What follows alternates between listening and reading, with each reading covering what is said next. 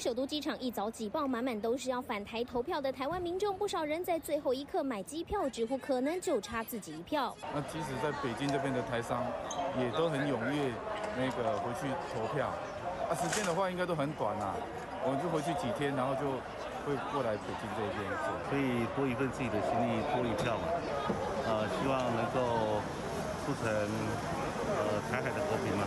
这次大选跟过年时间相隔比较远，依照往年台商回台投票意愿可能有所考量，但这次回台人潮不断涌现，不少台商快闪回台两天都要投下神圣一票。不论透过直航转机还是小三通，预估近二十万台商返乡投票，不少人来短期出差或旅游，也赶在最后时间回台。这次是出差啊，然后出差的时候有大概看了一下回程的时间会卡到选举，那就尽自己的一点力量。选择自己想要的，就是我们的生活也是要靠我们自己啊，所以要选择要靠着。